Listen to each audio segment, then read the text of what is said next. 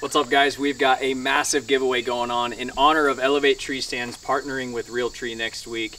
I've come together with some of my absolute favorite partners in the industry and put together a massive giveaway package for you guys. So obviously we've teamed up with Elevate Tree Stands. This is the Elevate Ultra.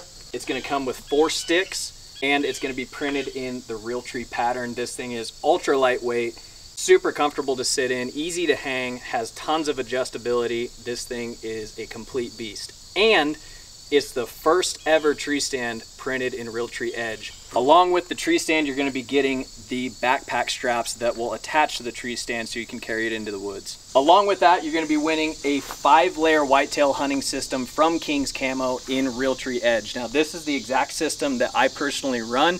This is gonna be the XKG five layer system. Now that you've got the stand and the camo, you're gonna need something to hunt with. So we are giving away a brand new